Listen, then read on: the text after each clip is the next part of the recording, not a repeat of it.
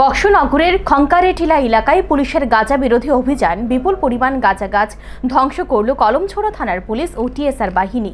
বৃহস্পতিবার সকাল থেকে এই অভিযান চালিয়ে পঁচিশ লক্ষ টাকা বাজার মূল্যের গাঁজা গাছ ধ্বংস করা হয়েছে বলে খবর।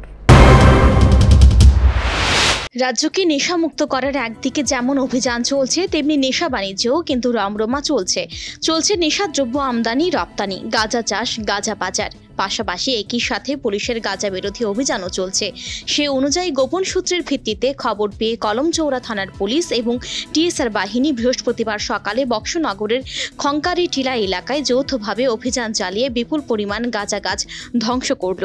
কলমচৌড়া থানার ওসি বিষ্ণুপদ ভৌমিকের নেতৃত্বে এদিন এই খঙ্কেরি টিলা এলাকায় অভিযান চালিয়ে পুলিশ এবং টিএসআর এর যৌথ বাহিনী তিনটি আলাদা আলাদা টিলায় আনুমানিক একুশ হাজার গাঁজা গাছ ধ্বংস করেছে বলে জানালেন কলমচৌড়া থানার ওসি বিষ্ণুপদ ভৌমিক আমরা গোপন সূত্রে প্রাপ্ত খবরের ভিত্তিতে জানতে পারি যে কনকাটিনারে ব্যাপক হারে গাঁজা গাছ লাগানো হয়েছে। উক্ত খবরের ভিত্তিতে আমি এবং টিএসআর স্টাফরা যৌথবদ্ধভাবে এখানে রেড করি। রেড করে এখানে তিনটা প্লট থেকে আমরা প্রায় একুশ হাজারের মতো গাঁজা গাছ ধ্বংস করে করেছি। আগামী দিনেও এ ধরনের অভিযান চলবে বলে কলমচৌড়া থানার ওসি জানিয়েছেন। এদিন ধ্বংস করা গাঁজা গাছের বাজার মূল্য পঁচিশ লক্ষ টাকা বলে পুলিশের অনুমান। তবে অন্যান্য ঘটনার মতোই এই গাঁজা গাছ চাষের সঙ্গে যুক্ত এমন কাউকে পুলিশ গ্রেফতার করতে পারেনি। এই ক্ষেত্রেও কিন্তু বরাবরের মতো একটি অসম্পূর্ণ তার পাশাপাশি রহস্যটা থেকেই গেল।